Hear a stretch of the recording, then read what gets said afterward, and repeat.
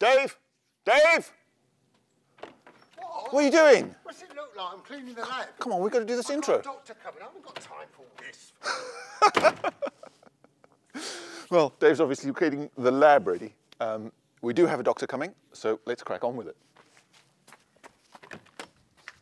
Come on, Dave. Let's get this lab sorted then. well, I'm doing my best here. Hi, Nigel. Hi, Dave. Welcome to my lab, Thank you very much. Nice of you to have me. and thank you for riding out. Yes, it was a bit freezing this morning, uh, but we made it. Ah,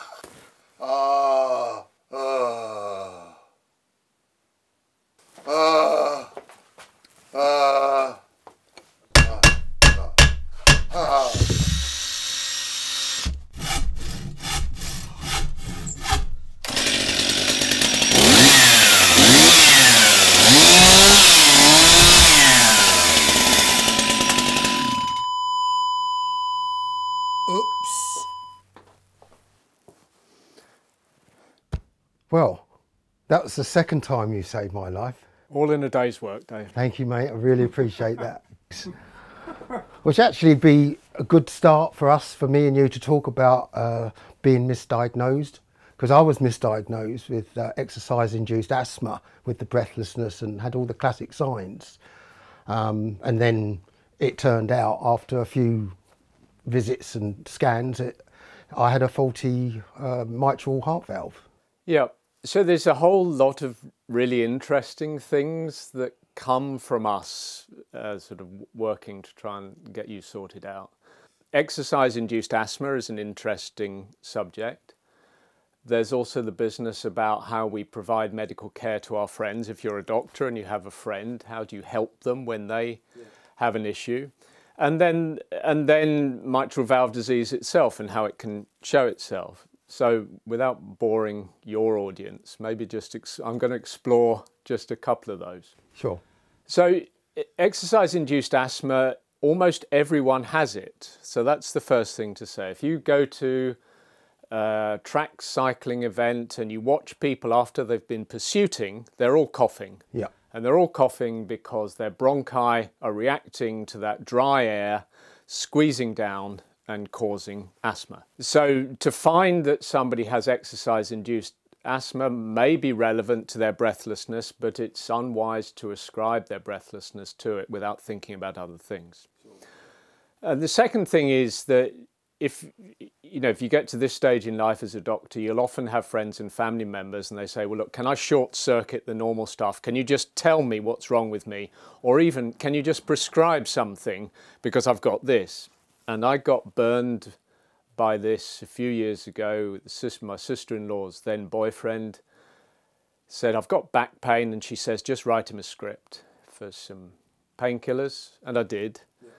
And then we discovered he had a leaking aortic aneurysm causing his back pain. And that was a really powerful, as the Americans say, teachable moment for me. So if it's your friend, you sit them down in clinic, you do the whole medical thing properly history, examination, special tests, which is what we did. And the third thing is mitral valve disease. So uh, the body copes with a leaking mitral valve really well. Uh, and things may not be particularly evident with that person at rest. They may be pretty healthy unless they're in a sporting environment. And the thing that can be very telling is when the person has a leaking mitral valve, if you get them to exercise on a treadmill and ultrasound it, you can see that it's leaking uh, torrentially when they start to exercise. That exactly what happened when I was scanned on on, on an echo. He got me on a like a, a bike, and he almost said stop because the, the difference between resting state and then starting to exercise, the blood was all coming back into the chamber and causing all sorts of things make me become breathless. That's right. And the oxygenated blood from the lungs comes into the heart. It comes into a chamber called the left atrium, which is like a, a tank or a sump. It then passes through a one way valve into the main pumping chamber, the left ventricle. The mitral valve is very complicated in, but it, in its structure, but opens and shuts like a duckbill. And when you get a leaking mitral valve, often what happens is that one of these two sides flips backwards, right? So when the ventricle, which is pumping here, starts to pump more vigorously, that will push that one backwards a great deal more. All the blood goes the wrong way into the sump, the atrium, then backs up into the lungs. The lungs become engorged with blood. The person becomes breathless. And we could see all of that when we ultrasounded your heart. Yeah. And leading on from that, it's a complicated structure, and so it needs a master craftsman to repair it because you can cut the whole lot out and throw it in the bin and put in a mechanical valve. And if you're a sedentary person, that's an excellent operation. But if you want a heart that works well when it's made to work hard, you need somebody to repair it to give you what looks like a normal mitral valve afterwards. Yeah. Uh, and we uh, took advantage of my relationship with a very nice man called Frank Wells, who is a guru in this area. And Frank did a remarkable job for you. Did. So, uh, what causes that to happen? Is it genetic or is it wear and tear or? Yes, you've you've summarised the two reasons by asking the question. Fair enough. Right, so everything wears out. Um, no 100-year-old looks in good shape. Right, so everything wears out. Mitral valve is subject to huge forces, 100,000 times a day, uh, but at the same time has to be thin, flexible, mobile. So it's not surprising that parts of it wear out. And you almost certainly had perhaps genetic, but at least a sort of built in weakness that allowed that movement to become more exaggerated over the years. And sometimes the little guy ropes that hold these bits in place can snap, and then the whole thing is just flapping like a garden gate. Sure. So, what would be, for instance, um, MAMILs, middle-aged men in lycra. Mm. So they so they're, they're, sitting in an office all day, and all of a sudden they get a midlife crisis, and they want to exercise. So we've talked just briefly on the the athletic heart here, but we're now dealing with somebody that doesn't do a lot of exercise, watches the Tour de France and says, "I'm going to get a bike," and off he goes training for the Étape. What sort of damage can that do, or is that good for them? Yeah, so um, I mean, I work as a general cardiologist, but I have an interest in sport and cardiology because I do sport myself. Uh, and probably the commonest reason that people consult is that scenario. So the person who may have been sporting when they were a teenager at university, but have then spent the next 20 and 30 years earning it, and now, like they said, a midlife crisis is an all existential thing where they don't just want to do exercise, they want to challenge themselves by riding like Alberto Contador up the Col d'Izoard or the yeah. Tourmalet and do something which even in the world of professional cycling is considered to be extremely testing. And so it's potentially good for them because the athletic training that leads up to that will improve their health. Mm. And if they carry on with it, will improve their long-term prospects and less likelihood of having cancer and dementia and vascular disease. But in the short term, what it can potentially do is to reveal something that up to this point has been hidden. So a person may have quite advanced uh, disease in the arteries of their heart, and the potential for a heart attack, but all of that is entirely silent because in their life it's not tested. And so whether it occurs actually in the Étape itself or, or rather on the 100 mile training rides that they're going to have to do, there's the potential, this massive ramp up uh, can bite can bite the person, can cause sudden death by the roadside, and so on. So for me, if the person has been sporting all their life, I don't really do anything. I say this is a coaching issue, just go ahead. If the person has had this prolonged gap, then I think it's wise to do at least some testing of their heart to make sure there's not something that's hidden in there that's going to cause them harm. So it's a complicated picture. Yeah.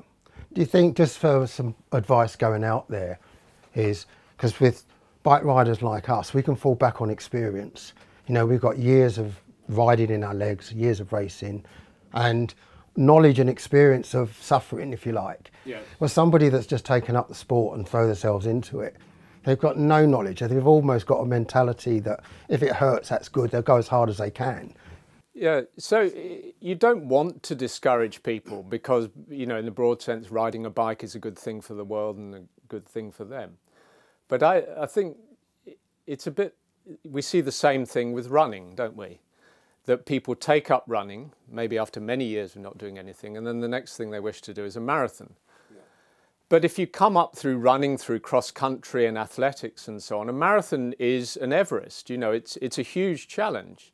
And people might want to have 10 or more, more years of running in their legs before they attempt a marathon. And I think it's the same for bike riding. So why not enjoy riding a bike? Why not join a cycling club? Why not build it at a much more sort of believable ramp up rather than say in six months' time I'm going to go from zero miles a week to doing 120 miles and 3,000 meters of climbing. Yeah. So it, I, I, think part of the the narrative or the conversation you have with somebody in that situation is just take a step back and realize what you're seeking to achieve here. And I think the difficulty with the Étape, I mean, I've, I've never done it, so I'm speaking from a point of ignorance. I did the Marmotte once and I was struck by how challenging that was is that yes, you can ride it slowly, except that that's 12 hours in the saddle. Sure. Temperatures on the valley floor, floor can reach 40 degrees. You can become profoundly dehydrated. You haven't practiced the nutrition for that type of thing. So whether you try and absolutely do it, cane it and try and do it in the front group, or whether you want to tap it out, it's still a remarkable challenge. And I suppose the start of the message for me with somebody like that is I really wouldn't underestimate this. Yes, that's right. Can you can you actually spot an athlete's heart and a normal heart? Is there a difference? So I said the most common reason people sort of come to see me is this whole issue of huge sporting challenges and will I am I up to it? The second common reason is that an athletic so very different, but an athletic person has had heart tests and the heart tests have re- turned abnormal results. And then the question to me is are these abnormal results unhealthy? Are they indicative of disease? Or are they normal for an athletic person? And actually, we're at a sort of frontier of medical understanding with this. Mm. Uh, some sports generate extraordinary looking hearts, uh, rowing particularly. some sports select people with unusual hearts. Miguel Indurain has made no secret of his extraordinary cow-sized heart uh, that allowed him to achieve those remarkable climbing. Are they just bigger? Yeah, bigger, but but but but not just bigger. But bear with me with that. So it's also uh, some sports select people who've been born with unusual physiology. And also people of different ethnic groups. So black athletes, uh, particularly uh, sprint athletes, so footballers, have hearts where it's very hard for all of us to really work. The ECG is a long way from what you would regard as a normal ECG. When you look at the heart itself, it's very muscular, but it's not particularly enlarged in terms of its volume. And so it presents a huge challenge, actually, because some of them will mimic what are known to be disease states. So there's a condition called hypertrophic cardiomyopathy where the heart becomes extremely muscular and stiff and presents a risk of sudden death. And some athletic people's hearts, as I say, particularly people of uh, uh, black African and Caribbean origin, uh, the heart can look very similar to that. Hmm. And so that's a real judgment call uh, to make as to whether it represents a normal, normal for athlete or abnormal, you shouldn't do sport type thing. And so there aren't any easy, ready reckoner normal ranges for these things. So I'm, I'm intrigued because whenever I've gone into hospital for whatever reason and I'm put up to the, the heart monitor that's pinging away, and every bike rider athlete will say the same thing. It, it, the alarm goes off. It's too slow. It's too slow, and the, and the nurses are running around, you know, and I'm saying it's normal. You know, yeah. I've got a 48 beat heartbeat, so what? But to them, it's the, the, is that because of the athletic heart, or is it? So this is an interesting subject. I mean, well, I guess to me, all of these things you're asking me are interesting, but I find this one particularly interesting. So, a, quite a common way that this would come my way is the person is 70 they're referred up by their GP or by another physician. They say he's got a very slow heart, needs a pacemaker, perhaps. And then you say to that person, well, tell me about it. And they say, oh, well, you know, I uh, had a problem with my medical going into the army. I had a slow pulse. So it's likely to have been with them all the time. And often a useful second question is, were you naturally good at sport? Well, as a matter of fact, I was, yes. And so for this person, they have a constitutionally slow heart rate. Uh, there's natural genetic variation just like, there is with height and everything else. And so they're blessed with a broader heart rate range over which they can operate. So if you've got a resting heart rate of 40 and you can hit 200, you've got a heart rate range of 160, whereas if you've got a resting heart rate of 80, 80 and you can hit 160, you've got only half the same heart rate range over which you can operate. Therefore, the first person is likely to be able to generate twice as much the cardiac output during high intensity activity as the second person. They'll be naturally better at sport. Yes. So a very simple way of addressing whether this is just nat they're naturally lucky or whether they've got a disease causing an abnormally slow heart rate is very simple. Put them on the treadmill. Right. And if the heart rate ramps up appropriate, commensurate with the demands of exercise, well, that's just that. Them, you're lucky, no pacemaker required. Whereas if the same, same test is applied to the person who has a diseased sinus node, the bit that generates the heartbeat, it'll be a flat or a very shallow ramp. They'll have a poor effort tolerance, and almost certainly that person will require a pacemaker, which electrically will allow the heart rate to ramp appropriate to the demands of exercise. So can you alter, if I, I was in the state where I needed a pacemaker and I want to ride my bike, it's quite mm. often, maybe my heart rate needs to go faster than the pacemaker. Can that be changed? Yes, it can. Uh, so the uh, old school pacemakers would really just pace you at a safe rate. Uh, then uh, the companies that manufacture them developed all sorts of quite sophisticated and smart algorithms which allowed the pacemaker device itself to detect how much you were doing and therefore ramp the heart rate up to match what you were doing. And we've also, and those electronics are tunable. So when we talk to the pacemaker, and I've had this with several uh, athletes of your age and my age who've ended up with pacemakers, but they've got a problem because it's maxing out at 150 and they want to be at 180 in order to be in the mix in the race. And so we've been able to tune it and give them a much higher heart rate. so I love it. So it's sort of electronic doping. Yeah. Uh, but there's so many symptoms, isn't there, with hearts that can, it, it varies into so many different categories. Another example, which I've experienced, and it, again, it goes along with the breathlessness, is the atrial fibrillation. Yeah. And, and also the difference between what I had, I atrial flutter, and it had a similar um, feel with the breathlessness to the fibrillation. Yeah. What is the difference and why do we get that? So it's in the last 15 years it's become big news and I think it's become that for two reasons. The first is an increased awareness and recognition. So I started work with a friend of mine, Greg Whyte, who's a sports scientist, 20 years ago at the British Olympic Medical Centre and we started to find older athletes with much more atrial fibrillation than you would expect. So Greg and I were actually the first people to start talking about this. It's now widely recognised that masters athletes have five times the risk of atrial fibrillation and atrial flutter compared with sedentary people. Mm. And the second reason is that many more people now want to carry on sporting endeavour beyond the age of 30. They want to carry it on beyond the age of 60. And so there's also many more people, if you like, now getting this athletes related AF. So that's the, the reason it's become more visible. And the reason I think we're still speculating, but here's my take on it. So we talked about left atrium takes blood from the lungs, passes it into the left ventricular pump. The left atrium can accommodate up to six-fold increase in volume uh, pumped through the system as the person goes from rest to high intensity work.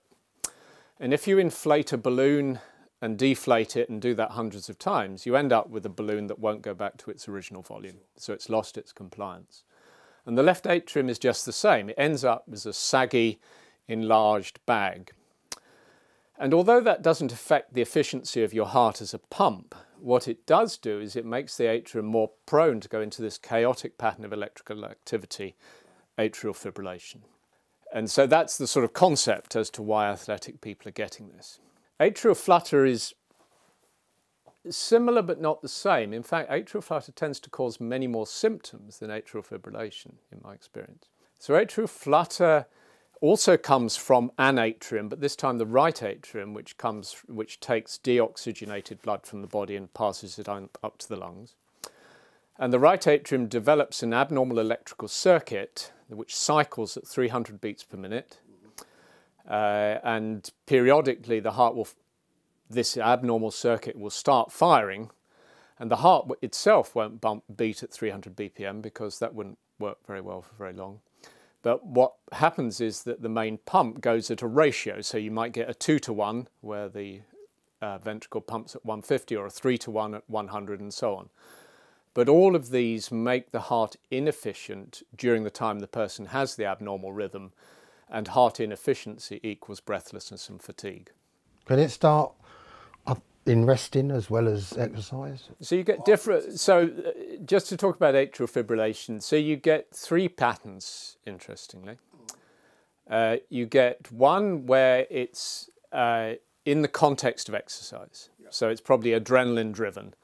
So uh, when we go to the uh, uh, master track masters track championships, I can point to several competitors whom I've looked after who get AF during their races. So that's adrenaline driven type AF. The second pattern is the opposite. It's the AF occurs in the space between normal heartbeats when the person's at rest. So the person will say to you, I have my dinner, I sit down and watch telly, and then I go into AF. Very characteristic. And here the vagus nerve, which slows the heart, is somehow involved in triggering the AF. And then the third pattern is entirely random. But for everyone that gets AF, it starts off as rare bouts and they don't know what to make of it. And then they become common bouts where it's starting to become apparent that there's an issue and it becomes easier to diagnose because you can witness them through to incessant. And so the thing for us as heart specialists when we're addressing this, if you want me to talk about how we try and treat it, is you're going to start by medicating it when the person has a certain, more than a certain amount of it, you also need to give blood thinners because what can happen during the chaotic electrical activity is blood clots can form within the heart and then fly off and cause stroke and other harm. So you want to give medication which prevents it happening. You want to give it a blood thinner which prevents the complication of having it. But these days, earlier on in the person's career with AF, we're thinking about ablation where in the ablation process we're actually going into the heart and seeking to electrically isolate the bits of the heart that trigger the abnormal rhythm and for some people at least cure it. And the good news for you and the other flutterers um, is that ablation is a highly effective therapy and nearly always curative. So the fibrillation is more complicated? Yeah. Several of my friends have had sort of three or four or five goes Yes, that's right. It's a it's a project, not a one once a one-off event. Yeah. Uh, and again, the the detail of it may be of limited interest, but the in atrial flutter, I talked about that circuit. Yep. It's easy to find, and once you can just do a little burn within the right atrium, you can interrupt the circuit and the job is done. With atrial fibrillation, you have a much more complicated job to do so what you've actually have to do, the five veins that come into the atrium from the lungs, each have to be identified and then you have to deliver a little burn in a circle at the point where these veins join the left atrium in order to prevent the transmission of electricity. Uh, and as you can imagine, in three-dimensional space, deep inside the heart, not burning too much, but burning enough yeah. in order to deliver this radio frequency energy is a hell of a job. So you would always say to the person, this works for most people, it doesn't work for all, but you've got to prepare yourself for the fact that it's a project may need several goes at it. Right. So with either of these, is, is it an age thing, generally? Yeah. So in the animal kingdom, uh, the uh, creatures that live to a great age, like tortoises and elephants, all have AF. Right. Didn't know that. There you go. Yeah. And so it's part of normal aging for the human as well. So people, we are talking about people who are 100, uh, you know, they're, not, they're, they're, never look in good shape. Uh, they've all got AF, or give or take, okay. and so on. So to some extent, it's an age-related thing. What about aging um, away from that? The, the, the older you get, in theory, you start to slow down. So um, in my case, you take my health away from one side, um, I was holding a good fitness right through my 50s. And there was not a lot of decline. In fact, my challenge was to go as fast as I did last year or the year before. And then all of a sudden, I fell off the cliff and my form just went boom. Whereas some of the other athletes, they were just losing it gradually, their, their, their top end. Mine just, is there a reason for that? I don't think we know. So when I've seen, and I guess this would be typically people in their 60s and 70s, and they've performed, and they've often been internationals, world class uh, as as seniors, and they'll say, I've, it's a bit like you. They say, I've maintained pretty good form. I've still been able to beat my age group uh, peers, and then it's like that. It's not like that. Uh, and I've, I've certainly seen it in often, often enough to think that it's a definite thing which as yet is unexplained.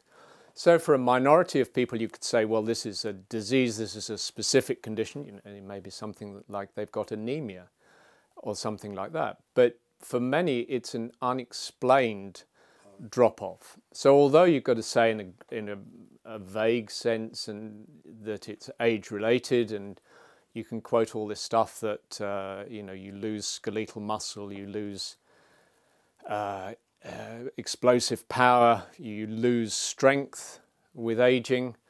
There's a lot about it that's completely unexplained, I would say. Yeah, I think also the the, the, the mental side of it too for some people would be quite dramatic, especially if you was an international bike rider yeah. and you're, you're riding a crest of a wave. The next minute you're crashing down and looking up, uh, psychologically, it could be quite hard to deal with. Seeing all your peers that you used to beat, uh, right. and now they're walking all over you, and you're, you're scratching your head, wondering what's going on. There's a broader thing there as well. So a lot of people would come and see somebody like me, not so much that we offer special expertise, but more that we're we're sympathetic to their perspective. Particularly for cyclists, but for some other sports people as well the cycling is as important in their life as their marriage, their family, their job, and so on. So when they've consulted a colleague and they've said, well, I get this, I get that, and it's affecting my bike riding, the messaging they'll be getting is, well, what did you expect? Yeah. And so, uh, and I suppose their internal response is, my expectation is that I want to continue riding my bike until I die, as it were, well, hopefully not too early. So I think part of the reason they come to see me is that I have the same expectations for myself. So, going through the mentality and mindset, how does it affect um, you as a person? Because this is something that I'm, I'm really interested to hear your answer. So, I'm going to put put you on the on the spot here. So, one of our training sessions we had at the velodrome, um, we were training together, and you turned up and I was about to speak to you, and you sat down and you said, Give me five minutes. And I did. And, and you apparently had just come out of theatre. You, you went from one environment to another environment, which was velodrome. So I'm, I'm actually keen to know, asking the top man that works on hearts, got years of experience. He obviously have got your mentality, your nerves, your control, under control in theatre because you have to be. Mm-hmm. Is there a different environment when you go to a bike race because you've still got pressure? You've got all the things. You've got your adrenaline. You've got pressure. You've got nerves, and you know you've got this thing that you've got to do it, got to get it right to win. Uh, what's the difference? Yeah, we had a little talk about this previously, and it, it sort of prompted me to reflect on what the difference really is. And so I, I think I think I can explain it. So if I'm doing procedures on people's hearts, it isn't always easy and it sometimes it isn't successful. But I feel I'm the master of it. And furthermore, I'm there with a group of people, a team of people whom I work with, and they would look to me to be calm and to be in control and to run it. And so in sport, people talk about this sort of flow state of mentality where you're internally calm, uh, where things not exactly feel effortless, but you feel in control of them and you feel a confidence that you're going to achieve a good outcome.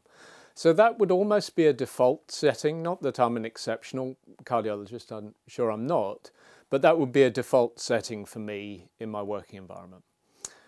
The thing that keeps me coming back to the track, and that I'm not a great cyclist, but I can still sometimes win things on track. The thing that keeps me coming back is that I have no idea whether I'm going to win, lose, or come somewhere between the two.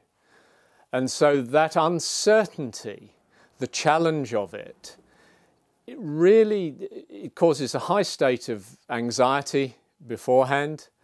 You've really got to give of yourself. It, it's quite uncertain through the whole process of the race how it pans out, whether I get onto the right wheel in the last lap but one, whether I can then come off that wheel on, you know, in turn three before the bell and then win the sprint.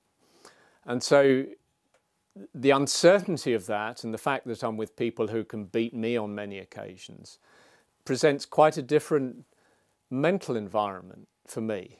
And although it's, it's stressy, and causes anxiety, those rare occasions when you win more than compensate for all those uncomfortable sensations beforehand. But I certainly, I'm certainly not confident. I'm certainly not, if you like, in control of the situation. But what would you be like in a team race? Because I've seen you rock up and ride a team pursuit, win and go home. Yeah. Um, and you, you, from my experience, you behaved differently. You're almost behaving like you are what you've just explained in theatre, where you've got your own team that you, you work with. Yes. And, and, and you're yeah. probably in the mindset of that in your team pursuit, for instance. So I think when you pointed that out to me, I thought that was so insightful because I hadn't thought of it myself. So I've done a fair amount of team pursuing. I've made very strong friendships with the various teammates that I've had doing team pursuing. You have to you, I mean, these are sort of cliches, but nevertheless true about working in teams.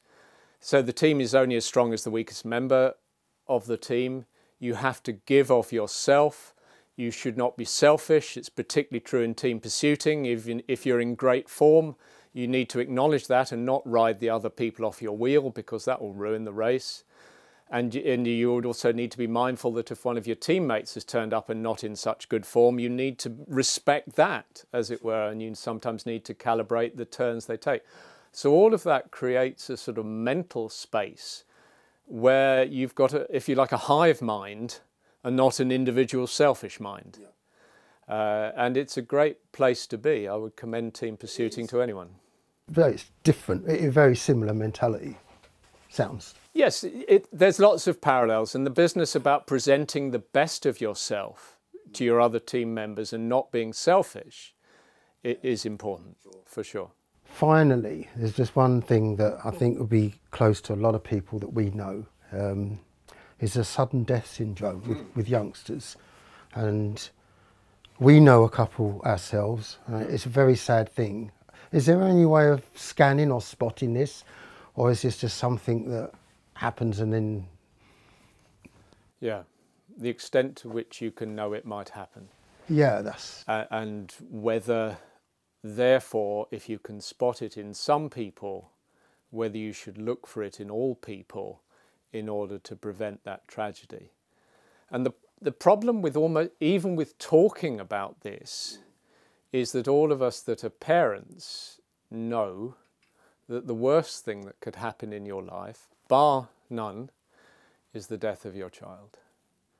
And so I think for somebody like me to talk of this subject, I need to talk respectfully of it because I share as much as you can the pain of people who've lost a child and their desperate need to find any sort of meaning in an awful thing. So that will drive people to say, well, surely screening would be a good thing. One life saved is worth tens of thousands of people looked at. Surely that should be so. And the, and the, and the, the, arguments, or at least the things to think about with that, are a bit complicated to convey. But maybe just a couple of thoughts before we just uncritically throw the house at screening. And the first is that you can detect minor anomalies which may not